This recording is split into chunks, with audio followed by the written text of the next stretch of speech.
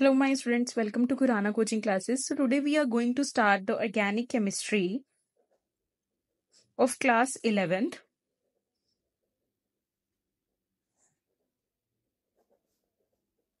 So, let me just explain you some rules of the organic chemistry first and then we will move to the reactions.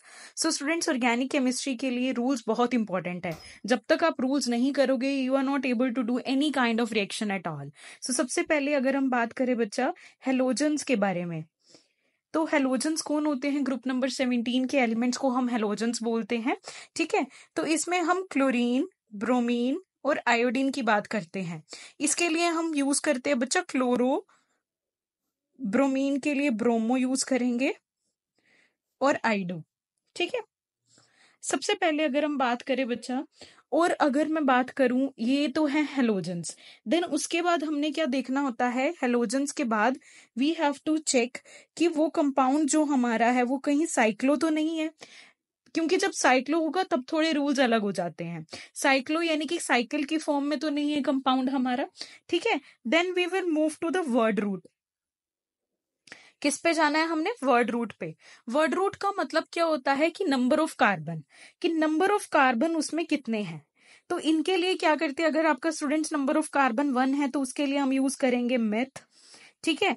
Carbon to के लिए हम use करेंगे इथ three के लिए prop four के लिए ब्यूट फाइव के लिए पेंट सिक्स के लिए हेक्स सेवन के लिए हेप्ट एट के लिए ऑप्ट ठीक है? नाइन के लिए डेक एंड टेन के लिए नॉन। सो so, यहाँ पर यहाँ पर क्या है बच्चे? कि हमने इस तरह से वर्ड रूट सीखना है।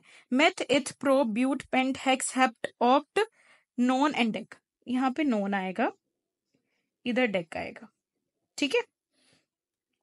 तो अगर हम बात करें यहाँ पर स्टूडेंट्स ये हमारा है वर्ड रूट देन अगर हम बात करें कार्बन कार्बन बॉन्ड के बारे में, देखो कार्बन के बीच में, दो कार्बन के बीच में क्या बॉन्ड है वो भी चेक करना ज़रूरी है पहले। तो अगर कार्बन कार्बन के बीच में सिंगल बॉन्ड होता है तो हम उसके पीछे ना एन लगाना है हमने। ये मत भूलना।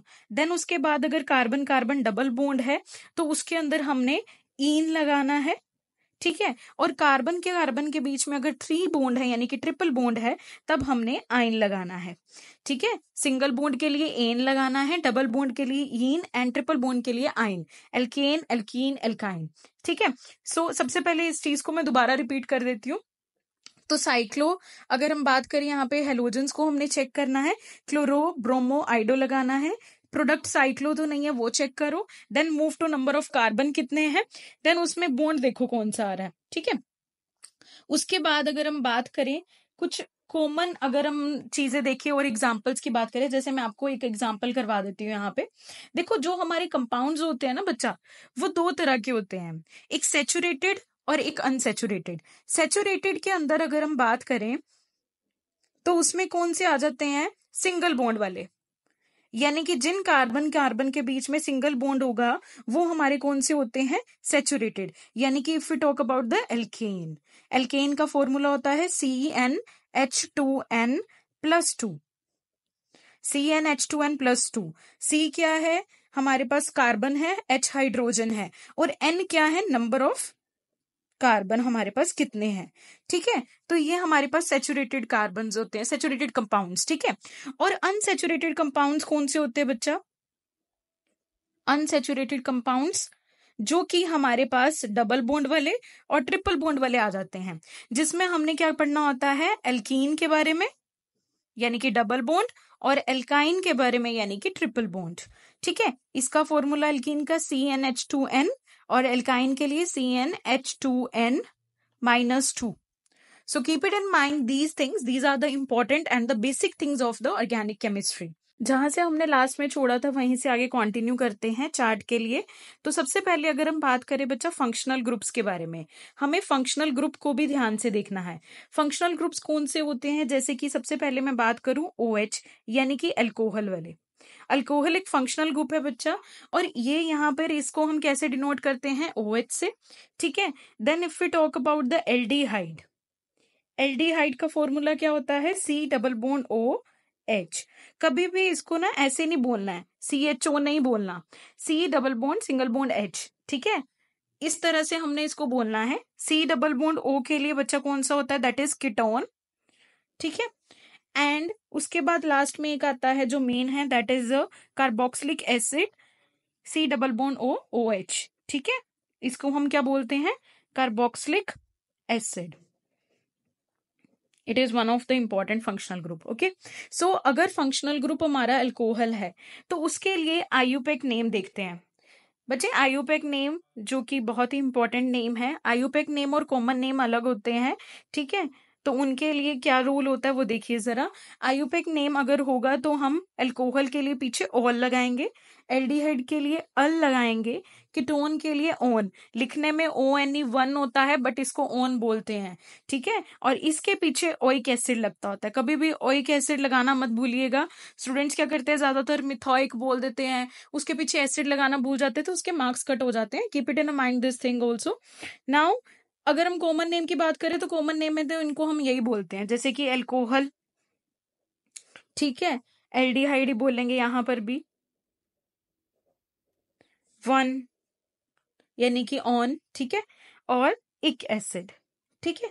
So these are the some functional groups अब हम ना नेमिंग के बारे में बात करते हैं कि किसी भी कंपाउंड की नेमिंग के लिए हमें कुछ रूल्स को देखना पड़ता है तो हम कैसे सीखते हैं उसको? ठीक है? सो so, सबसे पहले अगर मैं बात करूँ स्टूडेंट्स एल्केन के बारे में अभी मैंने आपको बताया कि एल्केन को देखने के लिए it is a saturated compound ना? So C N H two N plus two का हम फॉर्मूला लगाते हैं। जैसे सबसे पहले अगर मैं आपको बात बताऊँ, यहाँ पर ना सपोज़ करो कि हमने मिथेन को, मिथेन के लिए स्ट्रक्चर ड्रॉ करना है, ठीक है? आपको क्या है बच्चे, अभी मैंने आपको सिखाया है कि एक तो आप सबसे पहले देखो पीछे एन लगा हुआ है, ठीक है?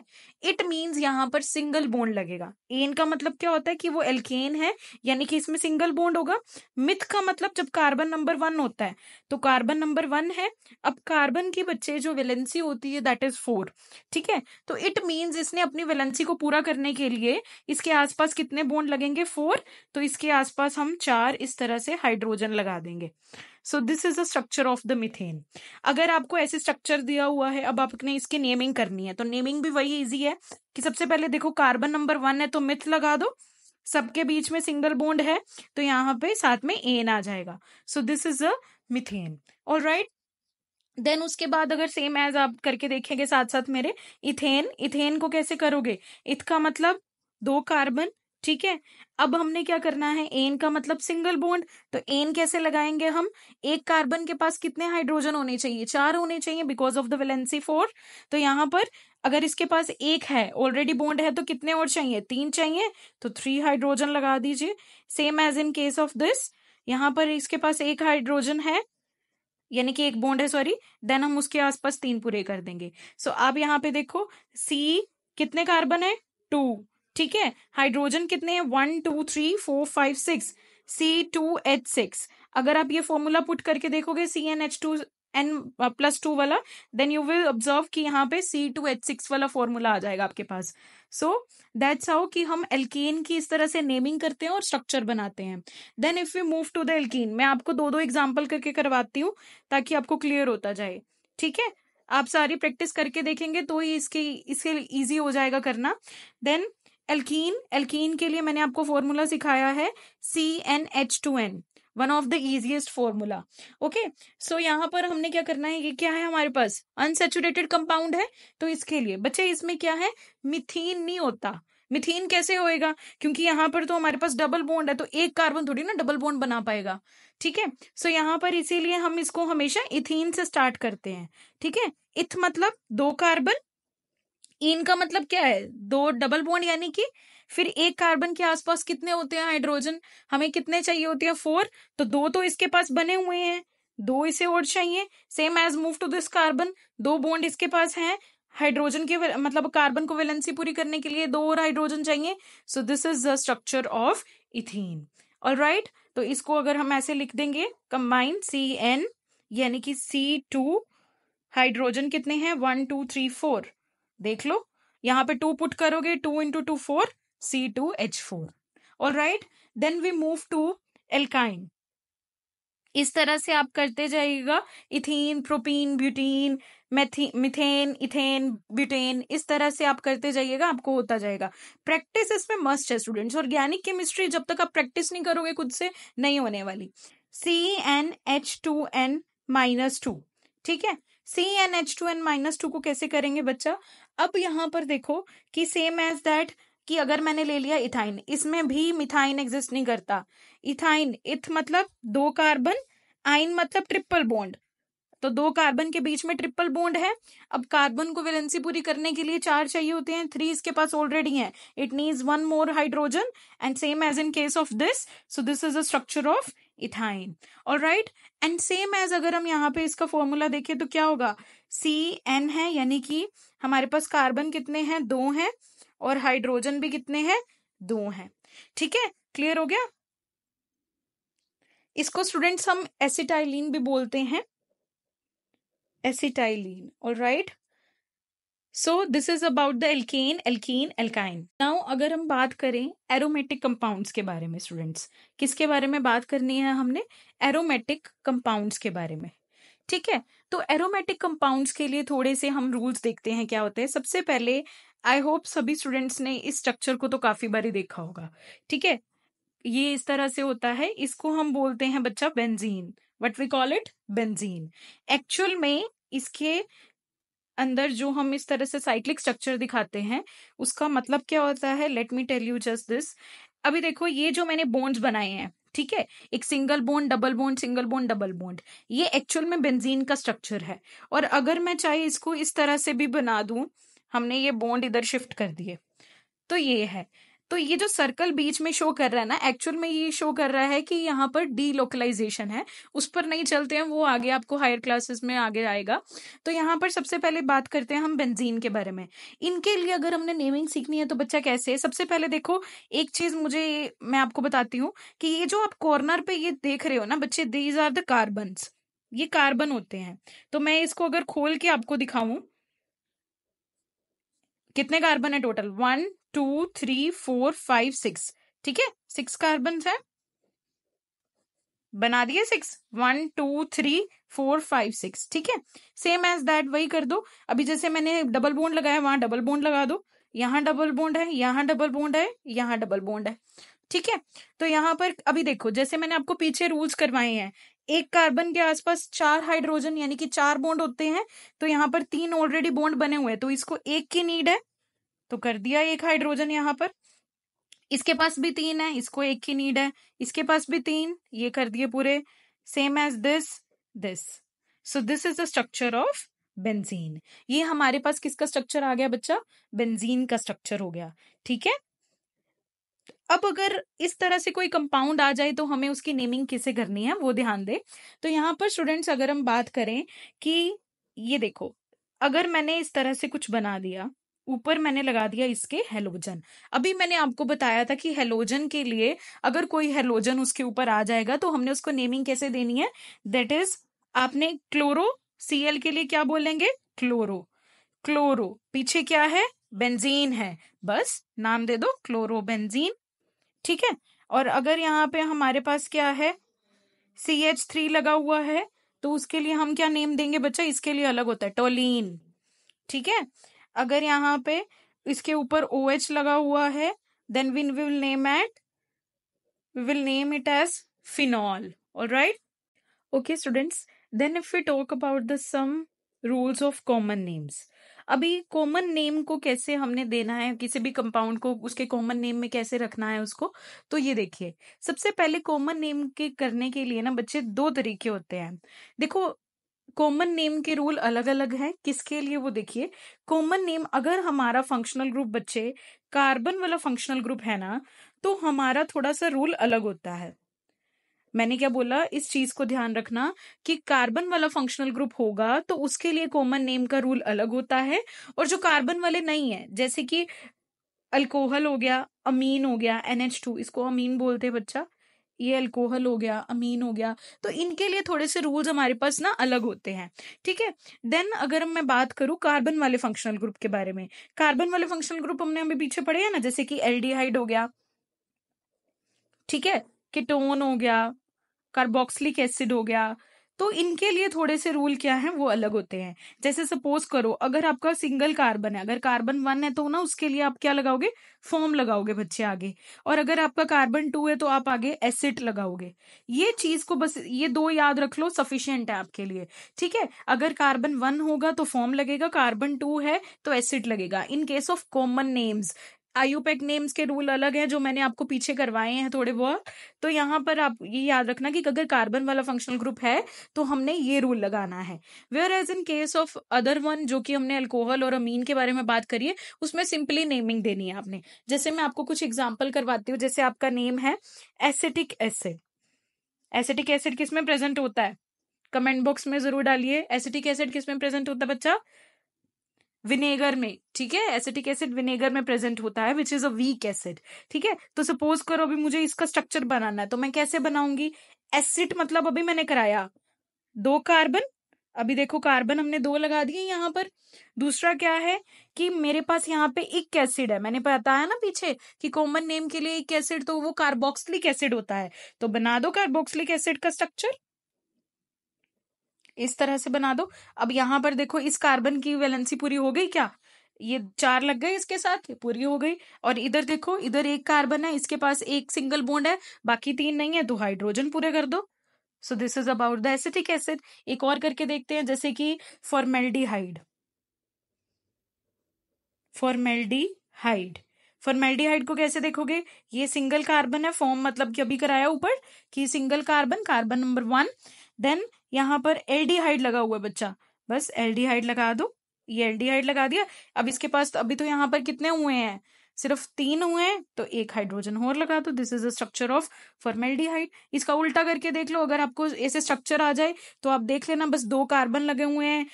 आपका कार्बोक्सिलिक एसिड लगा हुआ है तो नेम एसिड और फिर इक एसिड लगा देना। फॉर्म लगा के एल्डिहाइड लगा दिया, बस। Simple now in case of O H N amine इधर देखिए, जैसे कि अगर आपके पास है मिथाइल एल्कोहल ठीक है? मिथाइल एल्कोहल ठीक है? मिथ मतलब यहाँ पर अच्छा यहाँ पे एक और चीज़ सुनो स्टूडेंट्स वाई एल जब भी किसी के पीछे आ जाता है ना तो वाई एल यानी कि उसके अंदर एक हाइड्रोजन नहीं है, उसके पास तीन हाइड्रोजन है, यानी कि सपोज़ करो, जैसे ये हमारे पास ना मिथेन है है ना? ये मिथेन था। ये आपको पता ही है सिंगल बॉन्ड अभी पीछे कराया ना, सबके आसपास एक कार्बन है और चार हाइड्रोजन लगे हैं। बट अगर मैं इससे एक हाइड्रोजन हटा लू ना तो ये हमारा एल्काइन बन जाता है बच्चा। क्या बन जाता है? एल्काइल एल्काइल ग्रुप ठीक है? ये एल्काइल ग्रुप होता है। ठीक है? तो ये एल्काइल ग्रुप अब इसके लिए अगर एक हाइड्रोजन चला गया तो वो क्या होगा? सी एच थ्री तो वो मिथेन होता है तो वो क्या बन जाएगा? मिथाइल बन जाएगा। तो सेम एज अभी सी एच थ्री एल्कोहल के लिए ओ OH लगता है। So this is methyl alcohol ठीक है? जैसे अगर मैं आपको एक और स्ट्रक्चर दू यहाँ पर, इसका खुद नेम बना के देखो. C H three C H two O H तो यहाँ पे कैसे देखोगे आप? देखो, इथेन का फॉर्मूला क्या होता है? C H three single bond C H three ये किसका फॉर्मूला होता है? इथेन का. एक हाइड्रोजन गया हुआ है. उस एक हाइड्रोजन की जगह एक फंक्शनल ग्रुप आ गया है. दैट इज़ ओ एच तो इसको कैसे नाम दोगे? ये तो हो गया इथ है ना? दो कार्बन ये हो गया एल्काइल ग्रुप हमारा. तो इथाइल और पीछे क्या लगा हुआ है? अल्कोहल तो ethyl alcohol. This is about the naming of common names ठीक है? जो इसका स्ट्रक्चर भी आप सीख सकते हो और इससे आप नेमिंग भी बना सकते हो it will become very easy for you all so students if we talk about some more important common names के बारे में अगर हम बात करें तो यहाँ पे सबसे पहले अगर हम बात करें एसिटो नाइट्राइल की, इसको कैसे नेमिंग करनी है ये देखिए। एसिड मतलब इसको कैसे हमने स्ट्रक्चर में ड्रॉ करना है, यानी कि एसिड मतलब दो कार्बन है नाइट्राइल। नाइट्राइल बच्चा हम ना साइनाइड के लिए यूज़ करते हैं, ठीक है? नाइट्राइल, ठीक है? तो ये सी कार्बन जो है वो नाइट्रोजन के साथ ट्रिपल बॉन्ड बनाता है। तो यहाँ पर हमने ट्रिपल बॉन्ड बना दिया, देखो, इस कार्बन की वैलेंसी पूरी हो गई है तो इसके आसपास हमें कोई भी हाइड्रोजन लगाने की ज़रूरत नहीं है। देखो, one, two, three and four, valency complete हो गई है, नाइट्रोजन की तो वैसे ही थ्री होगी तो ये हमारे पास थ्री कंप्लीट हो गई है, ठीक है? अब यहाँ पर क्या है? कार्बन की वाली कार्बन की देखे तो यहाँ पर तीन और हाइड्रोजन हमें चाहिए। So this is a formula of acetonitrile acetone कैसे बनाएँगे इसका स्ट्रक्चर एसिड मतलब दो कार्बन मैंने बोला था ना कि लिखने में वन आता है, बोलते में हम ओन है। तो यानी कि ये हमारे पास क्या है? किटोन क्या है स्टूडेंट्स ये? किटोन और अब देखो कि यहाँ पर क्या है? अगर हम बात करें बच्चा थोड़ा सा ना इसका अलग है क्योंकि देखो, करने को तो आप कर रहे हो कि यहाँ पर एसिड मतलब दो कार्बन ओन लगा हुआ है देखो। बट यहाँ पर क्या है, एक्चुअल में इसका आपको स्ट्रक्चर याद करना पड़ेगा। There are some exception you know. तो ये भी एक एक्सेप्शन ही है। तो ये इसका स्ट्रक्चर इस तरह से होता है थोड़ा।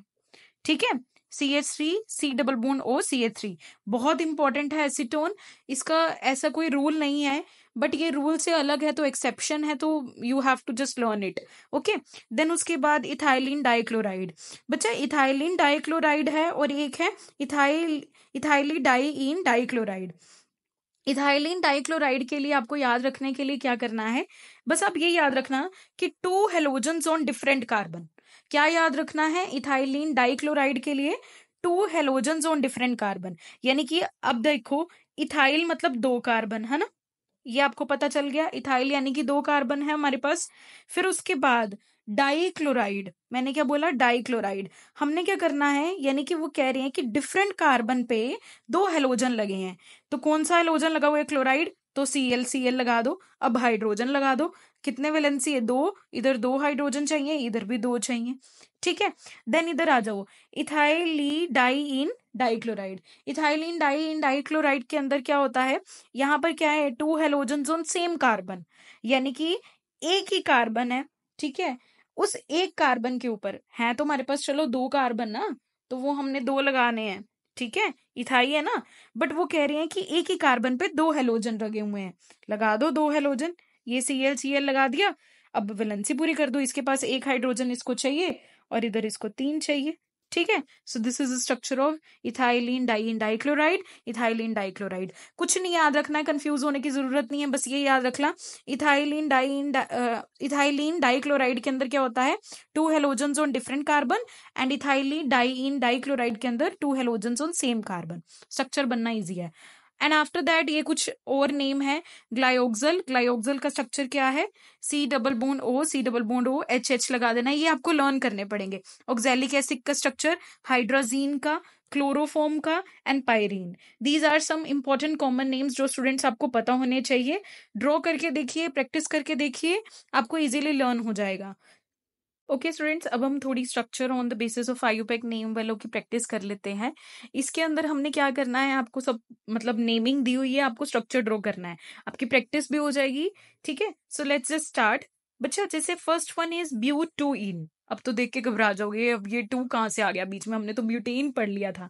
कुछ नहीं है बच्चा ईजी है, ठीक है? इतना घबराने की ज़रूरत नहीं है। बस ये देखो कि ये क्या है हमारे पास? ब्यूट टू इन सबसे पहले ब्यूट पे फोकस करो। आपने नंबर ऑफ़ कार्बन पे फोकस करना है। दैट्स इट ठीक है?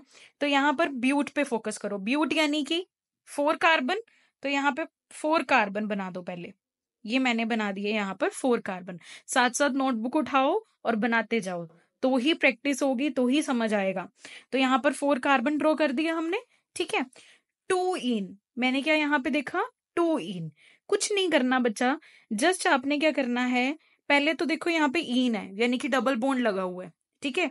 डबल बोन्ड लगा सकते हो, मैंने यहाँ पे सेंटर पे डबल बोन्ड लगा दिया, ठीक है? अब मुझे देनी है बच्चा नंबरिंग। नंबरिंग कैसे देते हैं बच्चा? वैसे तो डबल बोन्ड वाले को हमने कम से कम नंबर देना होता है, रूल होता है। तो चाहे हम यहाँ से दें वन, टू, थ्री, फोर। चाहे इधर से दें, इसको भी टू नंबर यहाँ पे मिलेगा, इसको भी सेम नंबर मिल रहा है तो यहाँ पर जहाँ से मर्ज़ी आप नंबरिंग शुरू कर दो। वन टू थ्री फोर ठीक है? इस तरह से नंबरिंग दे दी आपने। अब यहाँ पर बच्चे क्या है कि आपने नंबरिंग दे दी है, आपने इन भी लिख दिया है। बस अभी क्या है हाइड्रोजन पूरे कर दो दैट्स इट आपका स्ट्रक्चर तो बिल्कुल रेडी है। टू के पास इन लगा हुआ है, मैंने टू के पास डबल बॉन्ड लगा दिया है। इस कार्बन के पास कितने बॉन्ड है? एक बॉन्ड है। कितने की और ज़रूरत है इसको? तीन हाइड्रोजन की। दो, तीन, इसको एक चाहिए, एक हाइड्रोजन लगा दिया। इसके पास भी तीन है, एक हाइड्रोजन चाहिए। इसके पास एक है, इसको तीन चाहिए। So this is structure of but two ene that's how okay so now two chloropropane same as that जो मैंने सिखाया है पहले, देखो प्रॉप सब में सिंगल बॉन्ड है, तीन कार्बन ड्रॉ कर लिए। प्रोप का मतलब थ्री कार्बन एन सब में सिंगल बॉन्ड है। टू पे क्या है बच्चा? क्लोरो नंबरिंग दे दो वन, टू, थ्री। टू पे क्या लगा दो? क्लोरो लगा दो। बस, हो गया? बस अभी हाइड्रोजन पूरे कर दो। यहाँ पर क्या आ जाएगा थ्री हाइड्रोजन। अब तो प्रैक्टिस होगी होगी बार बार बताने की ज़रूरत नहीं है।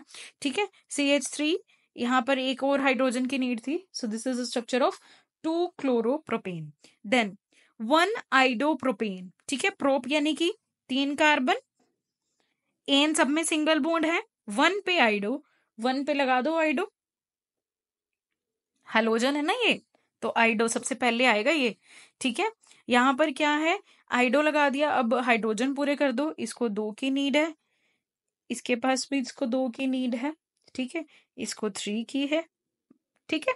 क्लियर हो गया? So this is structure of one iodo propane then ethanoic acid ठीक है? अब देखो पीछे ऑइक एसिड लगा है, याद रखो कार्बन वाला ये। तो इथ मतलब दो कार्बन हम्म ऑइक एसिड यानी कि कार्बोक्सिलिक एसिड लगा दो कार्बोक्सिलिक एसिड बस। और यहाँ पर क्या है हमारे पास? हाइड्रोजन पूरे कर दो, इसके तो चार पूरे हो गए, यहाँ पे थ्री आ जाएगा। All right so this is structure of ethanoic acid then move to but two ene one al ठीक है? घबराने की ज़रूरत नहीं है। जैसे स्टूडेंट्स मैंने आपको बताया ना कि हमारे पास क्या होता है कि हमने डबल बॉन्ड को कम से कम नंबर देना होता है। वैसे ही यहाँ पर देखो सिचुएशन ये आ गई है कि यहाँ पर डबल बॉन्ड भी आ गया और फंक्शनल ग्रुप भी आ गया। अल क्या है? एल्डिहाइड है ना? तो यहाँ पर इतना घबराना नहीं है।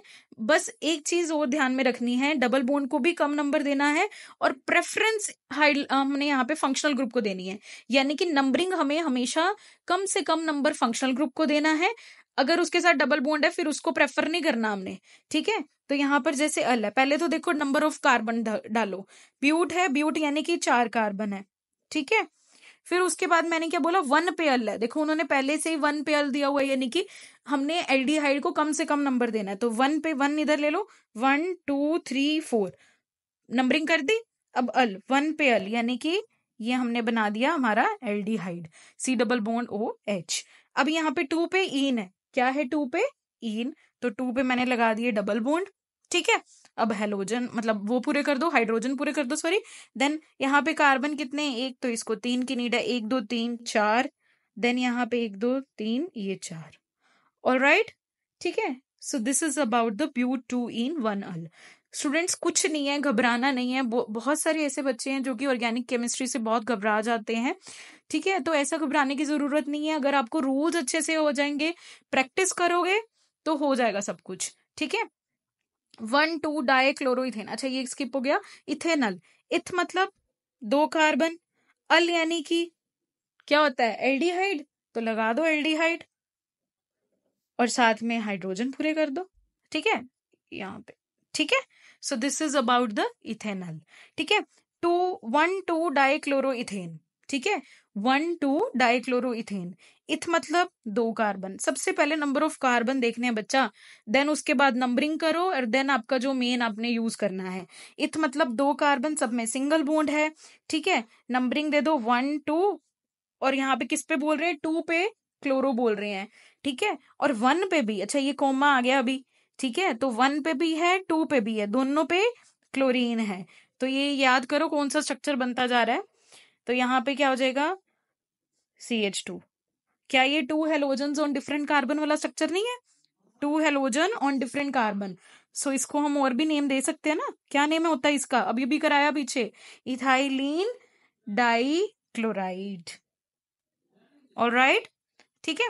So now if you talk about the next one methanal meth मतलब कि एक कार्बन, क्या लगा हुआ है? Al, aldehyde. लगा दो एल्डिहाइड। अब यहाँ पे वो मत देख लेना कि एक कार्बन और लगेगा। नहीं लगेगा। भाई, मिथ दिया हुआ है, क्यों लगेगा? तो बस हाइड्रोजन लगा दो एक और साथ में। This is a structure of methanal so this is about the practice okay so ये हमने कुछ प्रैक्टिस करे हैं क्वेश्चंस आई होप आपको क्लियर होगी होगी। So these are the some rules of the organic chemistry then in the next video lecture we will discuss about the types of reactions and we will do some chemical reactions I hope ये rules आपको clear हो गए होंगे अच्छे से इनकी practice कीजिए तभी ये रूल्स आपको अच्छे से क्लियर होंगे वरना आपको अगले वीडियो लेक्चर समझ नहीं आएँगे जब तक आप इस वीडियो को अच्छे से नहीं देख लोगे okay students thanks for watching it and i just hope that you all like it and if you like it don't forget to subscribe my channel just like comment and share it more